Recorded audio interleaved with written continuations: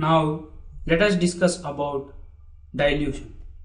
What is dilution? Mixing of acid with water or base with water results in decrease in concentration of H plus ions and OH minus ions per unit volume. So such a process of mixing of acid with water or base with water is called dilution and the acid or base which is mixed with water is said to be diluted.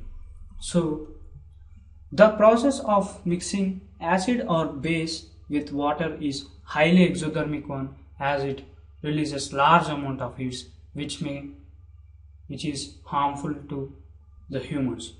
So care must be taken while mixing concentrated nitric acid or concentrated sulfuric acid or concentrated hydrochloric acid or concentrated sodium hydroxide when they are mixing with water.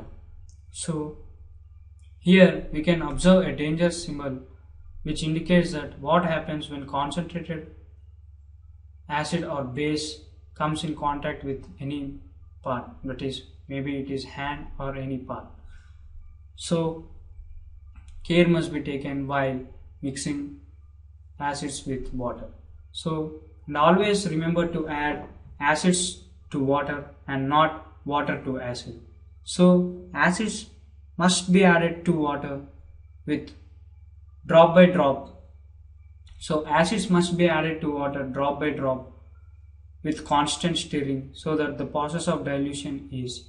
So if we add water to acid then the local heating may takes place and due to local heating the mixture may splash out and the mixture may splash out and there is a possibility of breakage of glass containers and this causes burns.